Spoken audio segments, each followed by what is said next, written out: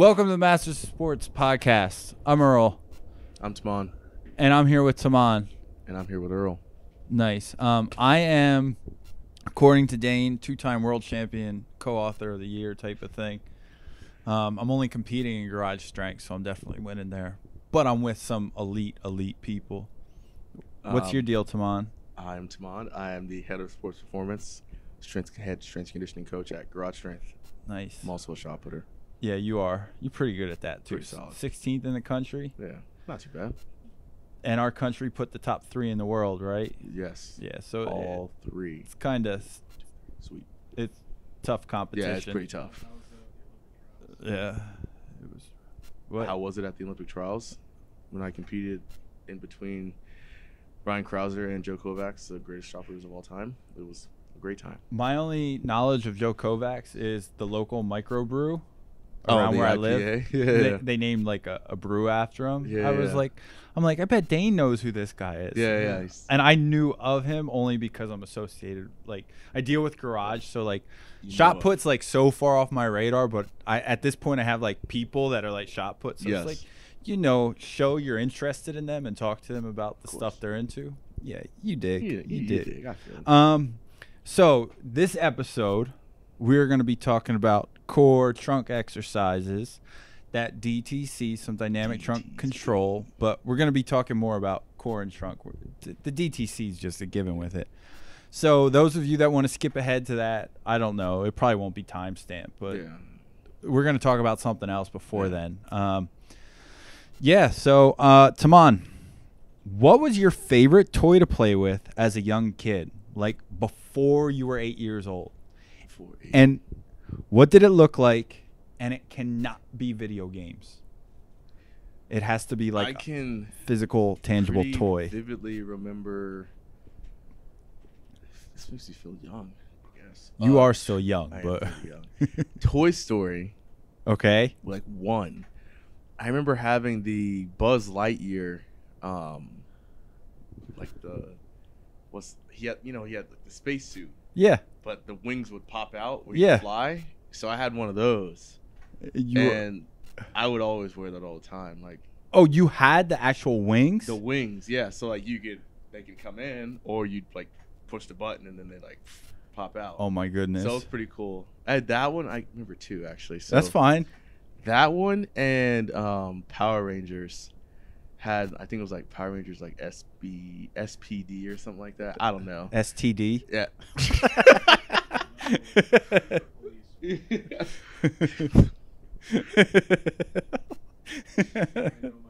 the yes, the SPD one. They had like the the little. Uh, it's like a wrist thing. okay. So that's what they used to like power up and get their suits on or whatever. Yeah. And so it was like a motorcycle type thing where like pop out and then you like crank and it made like a sound or something. I don't know. I wore that a lot too. It was So cool. you had wings that would pop out, Yeah, and, and a then, like, wrist like, thing that would pop out, Yeah, and you could like just and the motor. Yeah, rev the motor and then they'd be like Power Ranger SPD. I want to see a picture of you when you were like real find it and young. mom for that. That Yeah, funny. like that would be incredible. Yeah, yeah. So those like the two. and it, it'd be great too, like when the thumbnail comes out on the YouTube, like something like that is in there with Yes. this one. Just in the corner. yeah, Yeah, that's like good. Buzz Lightyear abs. Yeah. core Pretty and truck yeah. work. Yeah. Oh man, I feel like I know you so much better now. Now that you know like, what I'm into. yeah, like Or was into. young T'Mond wanted to fly. Oh yeah, hundred like percent. legit wanted to. All I wanted to do, just be like, because it was that, and then like the movie, uh, Like Mike Okay. came out, and then the song was "I Believe I Can Fly," and so I'm like having these wings on, watching Like Mike jumping off beds, thinking I can dunk on like my basketball hoop. You know, it's, all those things came came to mind. into and you play, were a. Power Ranger and too. I was a Power Ranger at the same time, man. so I was just all over the place. I would But not mess with you. No, do not. So I would like think I'm gonna turn to like the big. So here's a, thing. a really silly question. Did you have like a buddy that would do this with you, or was this I mean, like my brother would sometimes jump in, but like, yeah, this was, was a just solo pursuit. solo, straight in the imagination. Yeah. I'm just rolling through, like, just creating, you know, scenarios and you situations. didn't you didn't just- show up at kindergarten like this. Nah, nah, nah. Uh, maybe you know, show and tell might have brought some of that stuff. Pretty sure I did, but All right. it wasn't like, yo, me and my homies we're gonna squat up, you know. So- Now, T'Mond, were were you a big young kid too? Oh, big young kid. So it made it even funnier when you look back at it. It's like this big old kid wearing this stuff. Like it might have been a little tight here or there, but you enjoyed it. You rocked it. You it's know, gonna fit. It It's always fits. fit. It always fits. And then that one day, damn it, it doesn't fit anymore. what have I done? Oh, I'm growing. you Yeah. know, So I am. Uh, I'm. I'm nine I'm now. nine now. Yeah, I'm no longer eight. I'm grown. I'm grown. A grown man. Physically was not, but sometimes you seem like you were when you weighed on the scale. yeah, big and tall Yeah, for sure. 100%. All right. Yeah, that's funny. What so was what was mine? So as a kid, I played with GI Joes. I'm older than T'Mond too. I, bit. Little bit. I got you at least by a decade and, and some change, huh? Yes. Yeah. I, I think so. Um, but for some reason, the toy I remember this the most, and I think it was actually like an accessory piece to a Teenage Mutant Ninja Turtles toy. Really? And it, I may be completely wrong with that, but it was definitely an accessory piece to something. It was a yellow, like bulldog, and it was just all yellow, and it was like almost like a bright. I- want to say like a sunshine yellow, Okay. like no mustard involved here, type of thing. Like, like it, it was a rich yellow that Yeah, way. Um, and it had like a beret on, Okay. and like, I'm like kind of picturing this. It's kind of cool. and like I want to say like an army type thing, and it was like a it was a short sleeve shirt, almost like a I want to say like uh, a lieutenant and ad- someone that was like a Colonel, ranked official yeah, ranked high. Okay. with that, and it was just you know like think like the Georgia Bulldogs shirt almost like how it's like it looks Yeah, like a crop top on the dog. Yeah. Okay. It was this dog like that, and I just remember thinking like no one messes with this dog. Like it, it's it, it knows all the right moves, and it's just tough, and like it just Yeah. it looks gnarly like yeah, that. beefed up. Okay. So that was the one, just this dog. just this little dog, and like I, I made it like in my mind it was invincible. Like I played with Oh. other toys, like there was Yeah, yeah. Z-bots and stuff like that. Like I said, it was a Teenage Mutant Ninja Turtles thing. I had Toxic Avenger toys and stuff, Yeah, but like. GI Joes were like my thing. But I had these other things, like these toy sets. They were called Spinjas. All right, so you they were like yay big, like a thumbnail big. Like they weren't large at all, and they came in. There was two of them in a pack, and the pack was like an arena, and the arena was almost like a bowl shape made out of plastic. Okay. And on the side, like it would open up, and in the middle were the two characters you got, and they Yeah. were like in between styrofoam. Okay. And on the sides then were these it was like a square at the top, almost like a I guess it would technically be a hexagon, but it looked more like what you traditionally think a pentagon looks like, Okay. but narrow. Yeah. Yeah. And then there was like a cylinder on under it, and you would twist these spinjas into it, and then you would twist the top of it, and it had two buttons. You would hit the two buttons, and they would shoot down into the ring, and then and they would spin. spin.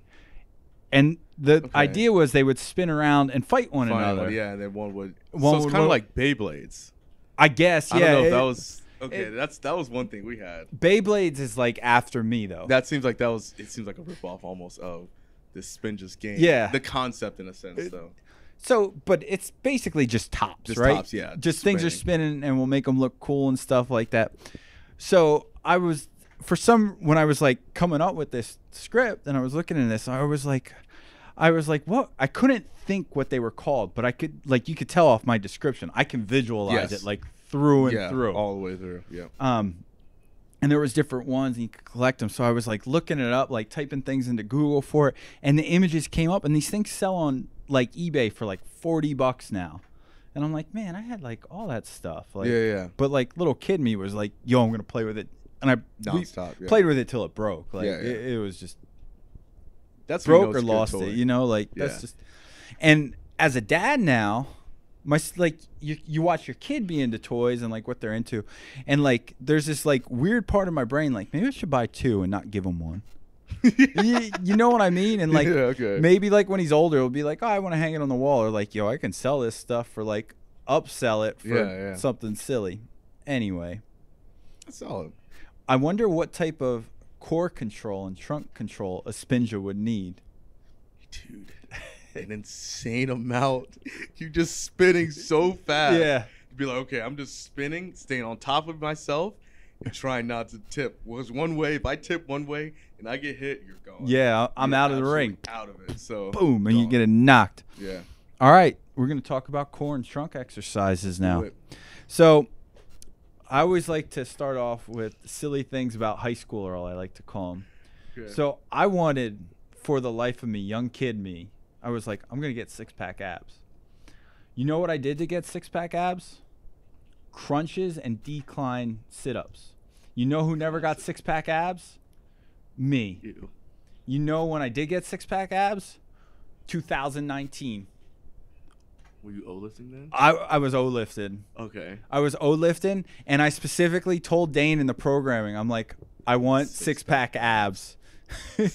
and I remember, um, I have a picture to prove this. Like it was, I feel like it was October, is Okay. like is the date my phone says it was. Yeah, yeah. But um, I was, I remember it so much because the day before, I would take the, when I got the picture was in the morning, and the Okay. day before, I had zombie squats supersetted with banded V ups. Ooh.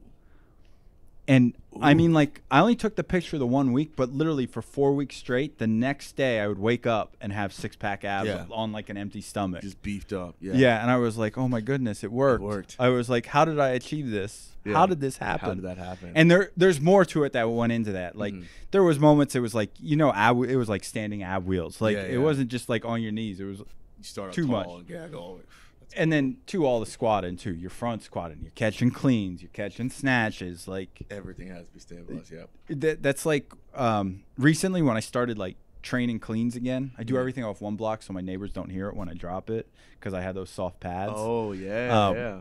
Crash pads. Yeah. Yeah. But um the first thing I noticed, I was like, why is this so hard? It was essentially like my upper back and trunk couldn't stabilize yet. Like my Yeah. legs, because I was squatting, were fine, your but like I wasn't used to catching the impact. Catching yeah. So that was that. Anyway, I did have six pack abs. How's your six pack abs coming along? My six pack abs are not going too well. Now, I will say this. I had a four pack once. What? I did have a four pack once. I was a little lighter. Like t- after college, I was I was like working a lot. I was training hard. I was in the Texas heat, so I was a little lighter. And I did have a four pack. I didn't. I remember that. And then I started. I moved up to PA, trained like an actual thrower. It, and it, they went away. that was Murder, She like- Wrote? Yeah, it was murder she wrote. So it's more of like a, you know, it's like a, it's not, a, it's not a pack at all. I wouldn't say it's a keg yet. yeah, I have a little bit. When I flex, there's a little something there. So it's not, you know, solid thirty pack. oh, come on now, we're not gonna go that high. All right, I would say like a twelve pack. Let's go twelve. All right, yeah. 12 like if if if everything was gone and shed it away oh there it's 12 there All right, so T'Mond, we can legit say you have ab muscles, right? yes we can say that you just have like that extra oomph you yeah need a little extra Ugh. for that huskiness Yeah, that husky. the the throwing life is about. thick thick with three c's there that's that's what i like to call you know like you're strong you know ev- you're just thick yeah, you got to be Three three C thick. three c thick and that's when you're like okay you got abs Yeah, yeah. i know you do they're just i'm just not seeing I feel like w- you just came up with a nice branding opportunity there. So people are all about those six six pack abs. Yeah, what about that three C thick yeah, abs? Yeah. What about that? Let's go. Yeah. That's good. Throwing 3C life. Thick abs. Yeah. That's that's what we need to strive for. Yo, and a C is a what? That's a hundred dollar bill, right? A C Yes. note. Yep. Look. Oh. And another more more Let's about go. it. Yo, that's good. I'm telling you. See, that right there is so big. That could change the game. Like everybody wants six pack abs. You want to be just chiseled up. No. Get your three C 3C. notes on that thick. Get your three C's on there. That's what we need. I can't wait for it to happen. Yes. Hashtag it. Make it happen. Make it happen. Y'all All can do listeners, this for us. Garage strength. You freaks out there. You masters of sports lift lifters. We need the three C thick. 3C thick life. That's what Yeah. we're only. You better start I hashtagging hashtag everything. have to put it on. Get all the throwers on it. Yeah, three C thick life. That's what. Man. three C thick. Yeah, we'll split it that. Yeah.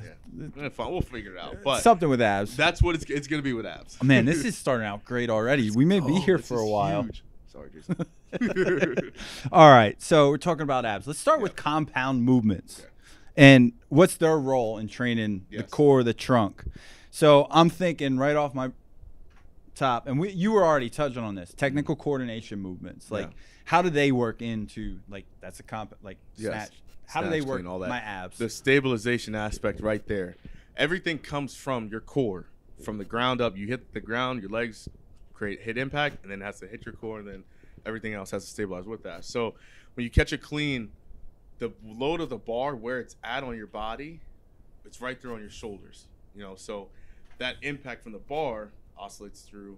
Your abs have to stabilize first, for that way your legs and everything else, legs and everything else can then pick up, or you know stand up the bar. So that initial catch, all that force, all those muscles, intercostal muscles, all those things have to turn on super fast and aggressively to be able to allow you to stay upright. Because if not, you're gonna fold like an accordion. Yeah, your elbows get at your knees, and a lot of things can go on. So Elbows hitting the knees is like a recipe for a broken wrist. Yes, hundred percent. It's so scary to see.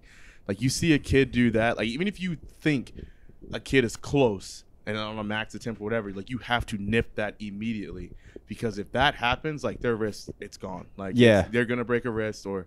You know that's something that can shatter through towards their forearm. Like you just do not want to see that happen, and it's like, just nip it immediately. You know you got to teach them like you have to walk up to them and be like, look, you have to stay tight here because if not, like if your elbows touch your wrists or touch your knees, like Yeah. it- it's it- gone. And once you tell them that, like the aspect of like, yo, your elbows touch your knees, you're gonna break your wrist. They're oh, immediately the very next rep, their elbows are sky Right, high. right. Like they, it's, it's just you know constantly. it's amazing somebody. though to think how ab strength all of a sudden now is impacting if you're gonna break your arm or not. Yes, It- it's so crazy. weird, like to think Yeah, about it that way. Hey, are your abs strong? No, you may break your wrist. Like, Huh. Okay I, then. I wouldn't have thought I about would it. think- yeah, yeah. So it's that's huge. All right, so wh- what are some? So that we know the clean is a compound movement in our technical coordination movement. That's like one of. A one, yeah, it's, Yeah. it's gonna have like your abs are gonna turn on during that. Yeah. All right, what is like an absolute strength movement? Front squat. All right, why do you say front squat? the anterior load of the bar, front of the body, elbows are high. So now it kind of falls hand in hand with the clean. Like if your core isn't strong, your elbows are naturally going to slowly lower, and that upper back strength can play a part with that too. But yeah, you have to have your core strong and tight with the elbows high to keep yourself upright and in a vertical plane. Um, a back squat you can get away with it because your erectors turn on a lot, lot more. Your lats, you know, your hamstrings, you know, all that stuff can kind of can come into play more and keep you upright enough to where you can stand up. But a front squat, like if your core goes at all, everything's going to dip forward, and the bar's going to naturally. So I'm hearing from the idea of like, you have you heard about our anterior sequence type of terminology? Yeah, I've, I've heard a little bit of it. Yeah. Yeah. It, um, so what I'm hearing is the abs, the core, the trunk itself, Mhm. Is like general CEO. Like It that goes. show. Yeah. Yes. And it's The a mitochondria. yeah. nice. a powerhouse. Yeah, it- it's making it happen. So Yes. it's interesting to think about this sort of muscle group Yeah. that's like actual role. Like if we think about it with walking, like it's just there to keep us upright. Like Mhm. that's what it's supposed to do. But when it comes to athleticism, like everything's passing through it. Yes. Everything is from top down, bottom up. Everything has to go through that area before that energy can be displaced somewhere else, or you know, some explosive movement. So your abs are just like they're the ones. All right, so absolute strength. You're telling me we're front squatting, Yes. but the other squats work. oh squ- any other squat, single leg, uh, back squat, obviously, like all that stuff. You have to stay upright. Everything is meant to keep yourself over whether it's midfoot and you know staying vertical. If your abs are somewhat breaking and that torso drops or the hips rise, like yeah. it can throw off the equilibrium of the movement and then things can go haywire. technical coordination, clean. Probably do a snatch in there too. I have an a silly question. Maybe it's not silly. What reflexive strength movement Are you like, eh, like it gets the abs? I like a single leg RDL to a box. Okay. So essentially, you have a plate, you rotate towards your down leg, Uh huh. and then you step forward towards a box, step on top, plate goes overhead. That aspect of this rotational style movement has to stabilize because if you can't stop your trunk from rotating, your hands are going to keep flying forward and you're just going to rotate and fall forward towards the box. You have to be able to do rotate, turn, stick. And that aspect has the abs moving in different planes like that. what's it, Like your sling, that you Yeah. call it. Like that movement, I think is really good. You get the joystick Yeah. instead of just the directional Just pad. direction. Yep. I got Yeah, you. I got you. All right. A lot. So- it's like a good like breakdown of like the abs in a sense. Like your abs don't always just you know there's flexion, extension, anti you know all those different rotation. Yeah. Like it's not just a D pad. It's you can move you know.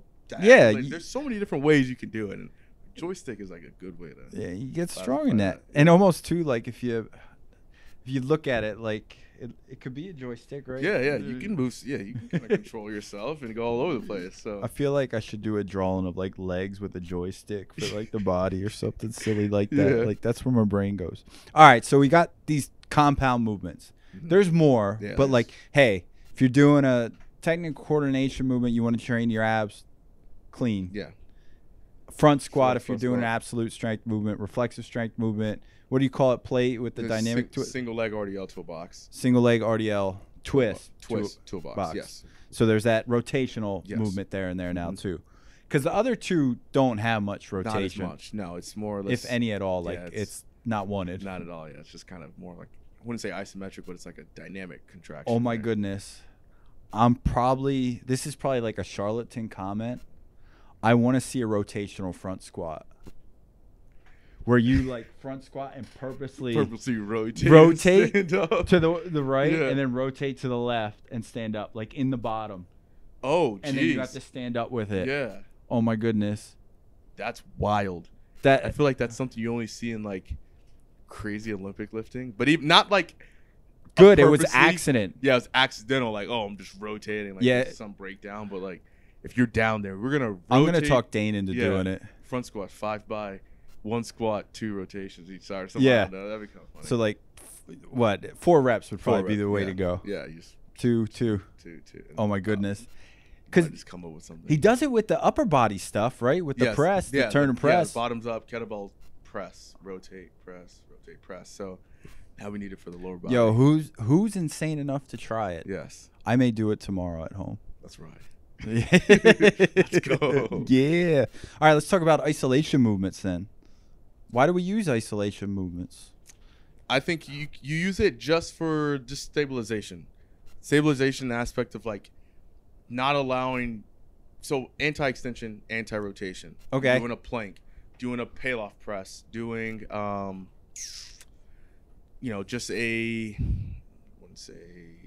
And you're saying this from a sports From a sports perspective, perspective, yes. right? So you you have to be able to not only create force, but you're able to resist it too. So that's where the anti-rotation, anti-extension stuff comes into Mm. play. So the better you can sometimes resist the movement, also helps with your ability to create it. Okay. If that makes sense. So doing a weighted plank, being able to hold for anti-extension, or doing um, let's just say like a I, I've had some athletes going where we're on the cable machine, cable column, and we'll just grab the the handles, two hands, we'll step out and walk to the side and walk back in. Okay, but so that's going to try to pull you in. That's that anti-rotation aspect there. So I think anything like that is really important because, like I said, it's if you create and resist, uh, uh, create um, force, you got to be able to resist it too. So it kind of all plays hand in do you hand. do any carries for ab work at all? I've done it for wrestlers. I like to do it a lot more for the grip strength aspect, but I think it's good just for the ab as- aspect too. So I had my football team I had in here two weeks ago. Um, we did a kind of like a, a race in a sense, uh, relay race, but we had 50s, 55 pound dumbbells, and I was like, you have to walk, you know, down 15 yards and down back, but the dumbbells have to be off the sides of your body. They can't be on your sides of your body because now you have your legs and everything. It's kind of resting there Yeah. holding it off to the side, those obliques light up big time because you're trying to not you're trying to keep yourself upright and not fall side to side. Yeah, But also you have to try to pull them out away from you. So dude, They're just that's brutal. and they were struggling. You know, obviously it's heavy. So Yeah. the grip is starting to go, but I'm like, okay, you know, rotate your, your knuckles up and keep those dumbbells off your off your sides, and everything's lit up. Your abs, because you're just every step you're taking, yeah. yeah. you're rotating. You kind of got a little waddle there, but it's huge. Like, That's amazing how you don't necessarily have to increase the weight being held. Yeah, It's just like, yo, move it off your body. move it off your body. And it's like It changes everything. it creates this Yeah. like I guess almost like a fulcrum, a leverage point Yes. with now how your obliques Yeah. have to handle it. yeah, it's like Thanos. Like everything's balanced. And Yeah, yeah, yeah. One thing, like, like now, this is we're gonna create that balance. Man, there. that's a mad Titan move on your Yeah. part. yeah. Let's go. All right. Jason. So yeah, I, I think carries are good. Um, I've seen so we've gone. Sometimes you go overhead carry. That one's a really good one too. Overhead because now it's trying to stabilize with the shoulder too, which connects down to your abs. Um, one one arm carry. So I did that in the fall sometimes. Like a Uh, suitcase, right? Suitcase, like, just a suitcase carry. You grab like a seventy pound kettlebell or lighter, whatever it may be, but Yeah. just walk down nice short steps, but really trying to keep yourself upright, not swing to that one side or fall away from the, the Uh-huh. kettlebell side. So carries are really good. I like them. All right, cool. Um, isolation movements. What about like V ups and stuff like that? Are you, See, that's the stuff that like a lot of coaches will be like, "That's just punishment. You're not. Your abs don't work that way. They don't really, you know, help you for sport." But I think sometimes they're they're good for coordination.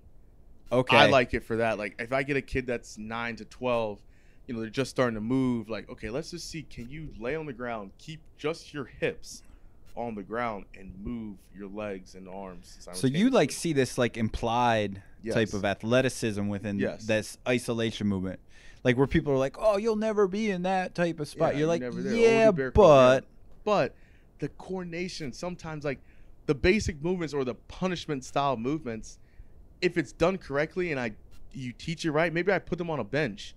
So now they have they can't they have to stay in one area and they can't swing off side to side or they're gonna fall off. yeah, Now they are getting their abs engaged, especially if they're someone that haven't trained before. They haven't trained that long. You know, you're getting something out of it. So and it doesn't have to be for a lot of reps. You don't have to go crazy for 30 to 40 reps or this long circuit. Like, just give them 10 reps and say stay on the bench and keep your butt on the bench only and don't fall off. Make sure your hands touch your, te- your feet. Like that's, that's a simple V up thing or you know crunches. Like maybe I'll just hold a, a crunch hold or you know an ab hold. I get some isometric out of it, and they have to you know they can only they can't just crank on their neck to stay up tall. Like there's things there's other those basic movements that you can do. yeah. Now, Russian twists and stuff like that, like, it, like I said, it doesn't have as much of a carryover. But if I tell you to keep your feet off the ground and reach out to a point, maybe I put a cone to each side. I want you to touch this cone while your feet are up. I'm still getting some coordination out of it. yeah. So All right, I could buy. That. I Yeah. I buy that. yeah, I- I think there's always something you can you get can out of it. Have my money. Let's go. I'll take it. Yeah. And also too, like, I guess how often are you doing these isolation movements? Like, Not that often. Not that now, often. uh, like I said, I'll put with sometimes with an absolute strength movement, you might throw some some sort of ab or trunk control movement in there. So, um, I always think if it's like a heavier lower body movement, uh-huh. it might be more of a stabilization exercise. Gotcha. Whereas if it's like a faster, you know, quick side movement, something like that, maybe it's more dynamic. So that's kind of my thought. Like we'll do a front squat and then we'll do, you know, a plank or side plank. Or if it's like single leg squat, maybe we'll do Chinese side bends, trying to stabilize the obliques a little more while you're on the with the bar, you know. So because you're pairing it with that movement. So something like that. That's Cool, kind of the cool. thought. All right. So we're gonna get in away from sports performance now, and we're gonna talk about abs for aesthetics, Aesthetics, yeah. like that beach bod, yeah, yeah, like, yeah. legit six pack, like Jake type six pack, and then like even now we know the other one, the new sexy, the big sexy, the triple C Triple thick, C, thick baby. the triple C thick pack. Yes. Oh my goodness, That's so good. It is. It's wonderful. Make it a thing. Let- Please make it a thing. Let's talk about this aesthetics. aesthetics. Like, what are we doing to get this? Like, That's where you could still utilize some of those isometric style, anti-rotation, anti-extension. Those same exercises do apply, because you can't spot, you know, treat anything. Like, yeah, you can do sets of a thousand crunches, but like, they're just not gonna bring abs there. Your abs are they're still a muscle. Like you have to train them in different ways and do different various rep schemes and things like that, just as you would any other part of your body, your biceps, quads, whatever it may be. So for the six pack abs, a lot of it is gonna be diet related, and you know your body fat percentage.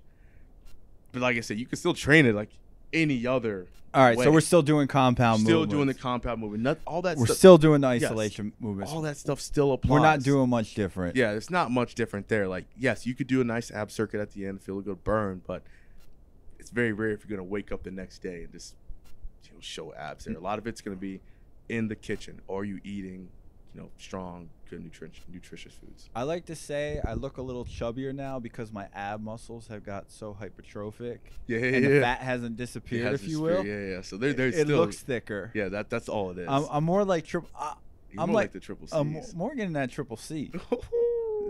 Man, yeah. getting that triple C triple thick C pack. life. Yeah, yeah, yeah. Yeah. That's they're there. They're still there. They're just they're hypertrophic. That's. I, You're right. I can't wait to like actually start using that, and people be like, "What are you talking What are you about?" I'm like, "Yo, you ain't that thick. You I don't thick, see no three bills on you." Yeah.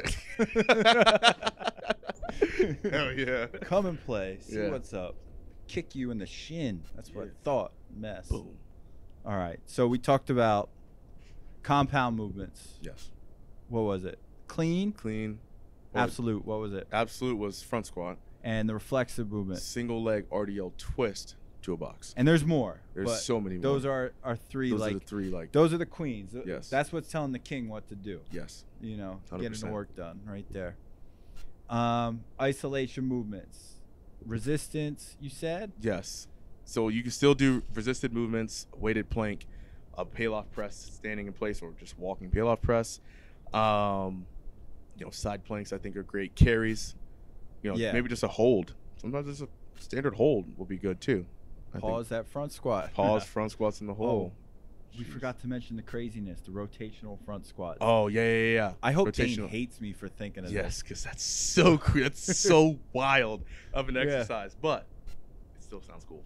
I think it could Rotational work. front squat, you know, holding everything tall. Now I'm curious, like what percentage relative? what would you use? Yeah, like people could hit. We're gonna And would that. you rotate on the way down, or if you would rotate, Rotate once in the bottom? once in the hole, rotate, rotate, and then Nah, on the way down. oh yeah, I, rotate. I think yeah, on the way down. yeah, make it like a s- Rotated already down there, that, like like you have to like rotate and come back come back up. yeah, and then rotate the other way, come back up. Yeah. yo, that's oh my wild.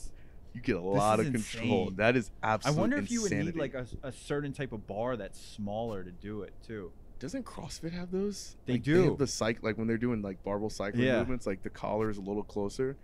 That Yeah, might to be good. Fit more yeah, people. so that way you can kind of like. oh my goodness. If it's too long, you're just gonna fly one direction. Yeah. But maybe the things we think of. wild. All right, and aesthetics. Go for the triple C thick. Triple C thick. That's the only way to do it. They- Only way. You Just- know, the more weight you have on is signs of happiness. Yes. For some, not all. your life, yeah. Some people, the magazines get to them. Yeah. All right, let's go to audience questions. Do it. Um, this is Reddit. DL per eleven, and that's per P E R R. Per. Yeah. Per. I picked up a sandbag for some functional training. It weighs approximately 150 pounds, but I can squeeze in another 50 or so. Has anybody experimented with regular training programming with an implement like this? Sounds like strongman stuff to me. I usually do a series of picks, 10 by 2, 8 by 3, as an alternative to deads, but it never feels like I get better at it. So that sounds like technical stuff with picking Yeah. up the sandbag. I know Brian Alsruhe. I don't know that name. I'm not. Alsra. All right. Suggest using your body weight or higher, but that seems like a lofty goal at the moment. Better get thick. Yeah. Triple C, dog. Um. How does he get? How do they get stronger and technically more proficient? Is what I'm hearing. Yeah, there. yeah. Uh, specifically with the sandbag, I mean, 150 pound. I, I want to say, I mean, that's that's decent weight. Like that's not crazy, but maybe add more reps in there just Yeah. to feel something. Like maybe go for like a touch and go to where you don't put it all the way down. It's kind of like flip over and then go back Oh, again. it sounds like they're Yeah. struggling with something like that. yeah, like um, it's an oblong object, so it's it's a lot of different. You know, make sure your technique is has to be on Yeah. par for that. My Like, understanding of like how you do a sandbag, and I am not strongman. Like Yeah, I picked up a sandbag already. Yeah. I, I'm pretty sure I threw a 200 pound one over my shoulder already. Like I'm Mm. nothing special to brag home about with Yeah, this. yeah. But I think part of the idea is you almost dead it up Yeah. to your thighs, And then bear hug it, and just squat up Just then squat from up. there. Yeah. That's kind of my understanding of how it Mhm. would go. Um, someone can correct me. Like I'm, sh- I know there's people who have more knowledge. Yes, yes, that. yes. I agree. Um, Um, but that sounds like the best way to go about it. I Yeah. mean, it, so go lighter. Yeah. Practice the technique. practice technique a little more, and then try to see And like what's other ways to get stronger that's. I mean, other ways to. I mean, there's besides the sandbag? besides like the sandbag. Yeah, that's if it's feeling too heavy. feeling. Yeah, that's where if you have a lot of equipment like yoke carries or you know farmers walks. You know, there's other ways to. There's a million ways to skin a cat. Front squat. Front squat, rotational. No, I'm just playing. yeah, don't. Do that. don't do that. Yeah, but pause front squats. Um, That sounds like a good one. I think that's like a that one will really test you. You know, like could it test your core? Obviously, it tests your overall strength. It's being able to sit down there, hold for a two count, and then drive out of the hole explosively and fastly with intent. So, I think that's like a, a common one. If if anybody is training, like that one should be in your. your and I hear a rumor that a front squat improves your deadlift. So that initial pull, pull off the ground with the sandbag too. Yeah, that could be one thing to look Help. at it as. All right, let's go to the second one. YouTube community. Poi boy. Twenty five. All He right. laughing at you know you know this person. I do It's not you? know that first. It's you. Did I ask a question? Yeah. Best explosive exercises for two sport athletes: basketball and football. What plyometrics are they doing? You already know. I, I do, but they want one. to hear it from you. The one pogo jumps. Do Do it. Yeah. Pogo um, jumps and what's the other one? Another one would just be I think touch and go back or box jumps. Okay. Um, broad jumps for distance, really good. Anything that requires you to be fast off your feet, like quick ground reaction times, are going to be optimal for both those positions. Now, adding in some unilateral movements, like really simple as jump lunges or step up jumps, could be good. Or then going towards jumping over small hurdles or things like that. Home hurdle hops are really good too. That's a hard one. Yeah, that one's tough. That one's tough. You got to be really conscious of how high your hurdle is. But jumping off of one leg and then landing on that same leg, all that deceleration uh, aspect is, is important there too. So, as a two sport my athlete, goodness, you f- explained that movement so simply to me with the home hurdle hops. oh, jumping off one leg, landing on the same leg. Yeah, Yeah. because I'd watch the video and I'd be like, "What am I missing here?" Yeah. It just looks like they're doing this funky thing with their legs in the air. Yeah, yeah, it's it's awkward, but it is like really athletic and a really good movement to do. So, being a two sport athlete, doing bilateral movements, unilateral movements, um, you don't have to get complicated with them. You know, that you can load them, unload them, be quicker off the ground. You know, there's, there's a lot of different things you can do with. But I would say let's just say three exercises. I pogo jumps, being quick. Okay. Pogo jumps. Um, Touch and go box. touch and go box jumps, and then let's just say jump lunges. Okay, Super simple. there you go. You got it. Two sport athlete. Oh, just went two right like that. How Oh, about yeah. that? All right. Um, that concludes this podcast. T'Mond. Solid. Maybe Dane will come back from where's he's at Worlds now, right? Yeah, I think he's in Eugene. Oh, yeah. what wasn't he in Eugene? Was it Nationals at Eugene? Yeah, he was. Yeah, he was just there. So All right. he's back at it. He must really like that Oregon weather. Yeah, I guess it's nice out there. All right. Tune in until next time, all you freaks. Um, cultivate your power, you freaks. Freaks. Um, Triple Mon. C's. Triple C thick Triple. C thick. Make it a thing. All right. Let's go. Peace. Peace. Later.